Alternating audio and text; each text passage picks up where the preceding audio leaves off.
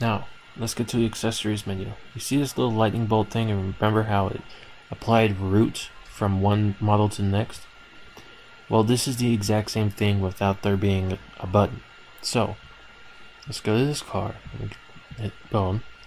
This car. So right now, it is obsessed with being attached to the root bone of this axis, the ground. So, if we set it to Miku, and then we start messing around with what bone it's attached to, well, let me set it to bone. These are all Miku's bones that it's being attached to.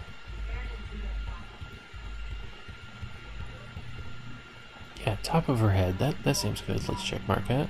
Interpolate, eh, that escapes me because, I mean, I'm pretty sure it's probably going to smoothly like because interpolation is smoothing. So I'm pretty sure if her head moves, and with that on, then it's just gonna smooth the movement. But that's not what we want. We want it to be attached. We want it to be as if she's holding it. So, top of her head. Yeah. Yeah, that's what interpolation is doing. So, all that extra shaking that the car is doing, I'm pretty sure it's interpolation.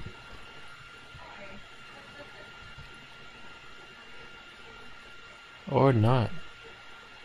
Maybe it's just a really bad bone. Eh, whatever.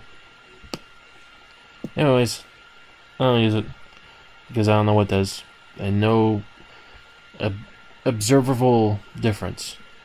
Anyways, this visibility, there's shadow, in case you want the accessory to cast a shadow.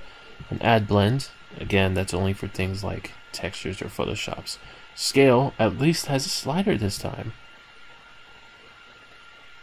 That's nice. And this, even though there's no check mark, you still check mark with this.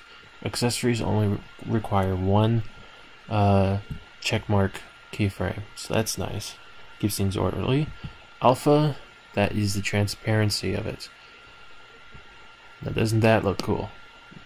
You can make the invisible jet from Wonder Woman and you can make it look like that. Invisible plane, not jet. Yeah. Now down here, if you ever move it, these numbers will pop up. Perfect time for them not to pop. There we go. It wasn't selected. Man, it feels like it's attached to a physics jo joint with how badly it's shaking like that. It shouldn't be shaking like that, but whatever. It's fine. I'm pretty sure if I attach this to some other joint... Yep, no more shaking. So it's just whatever the joint I just attached it to. You know.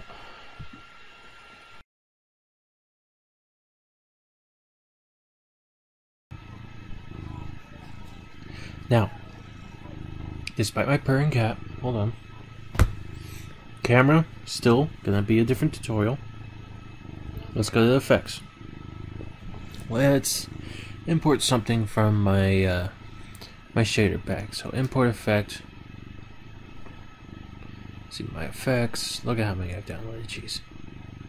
Now everything I use is most likely just been in here.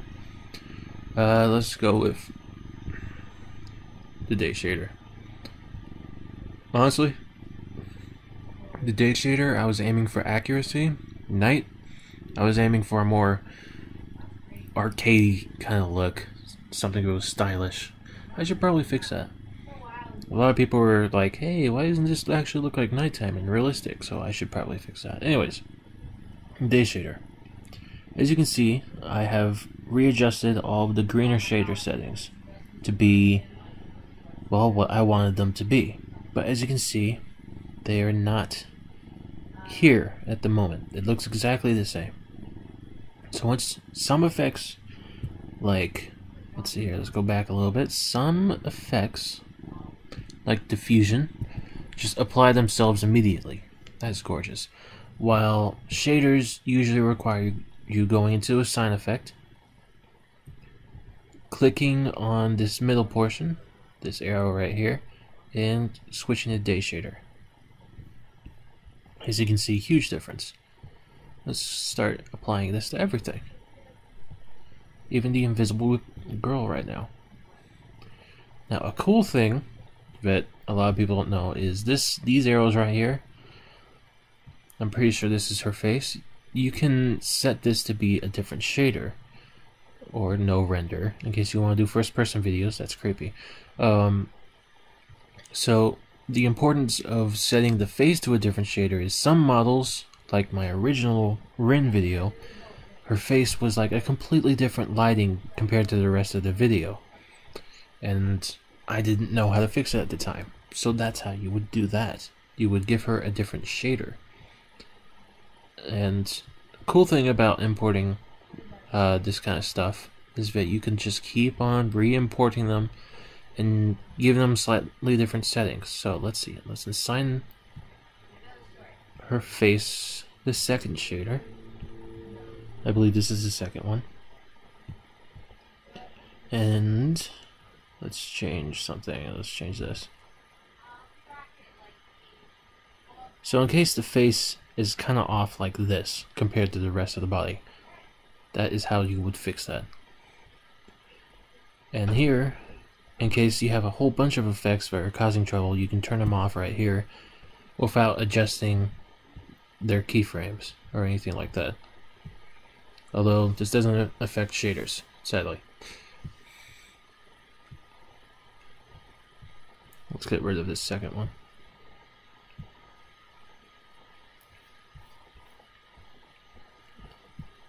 Now,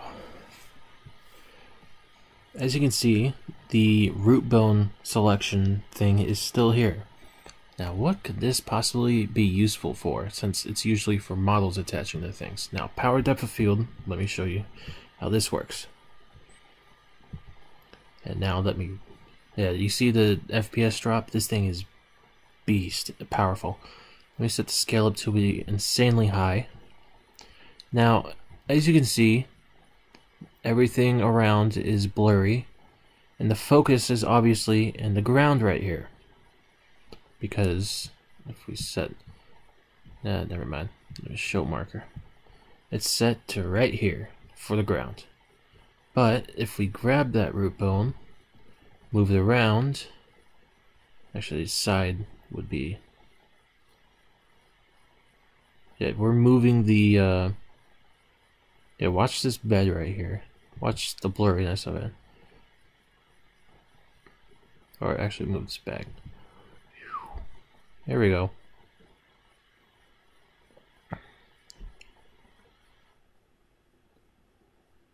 So this is the root bone of the power depth of field effect.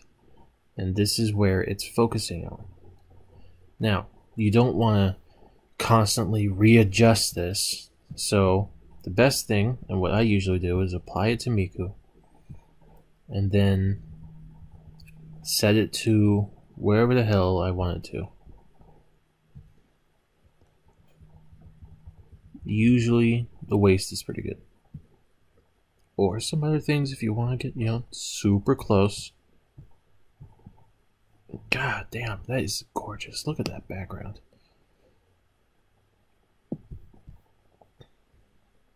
But yes, power depth of field is a powerful effect, which is why when I go to assign effect, I usually turn it off.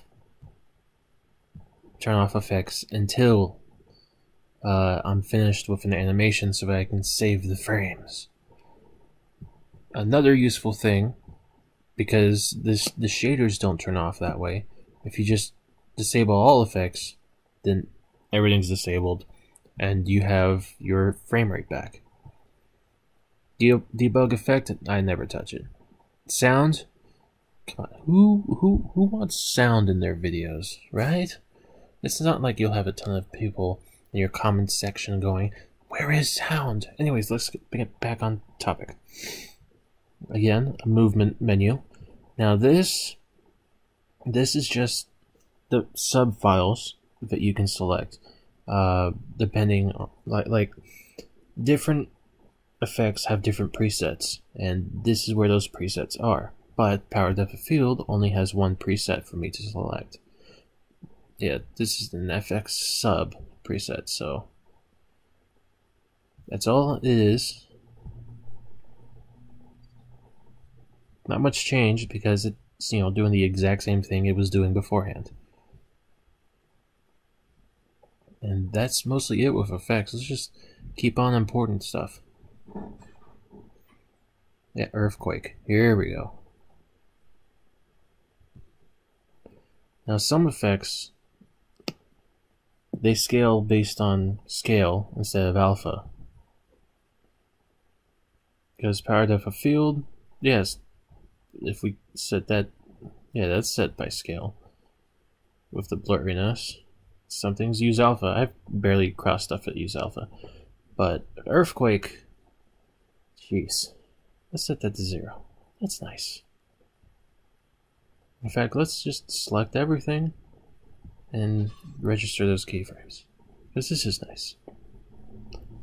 So the way you would usually do a step with an earthquake, oh my god, what the hell, is you would set this to like 0.5 or something like that. Make sure it's selected. And then you would let the re reverberation go away back down into zero. And make sure to have a starting point too. Like this, you want one frame before it hits to be zero. So, when you go along, it's going to do a step, and then it reverberates off. That's how you usually do earthquakes, or steps, or anything like that. It's a very useful tool for making things feel like they vibrate. or have an impact.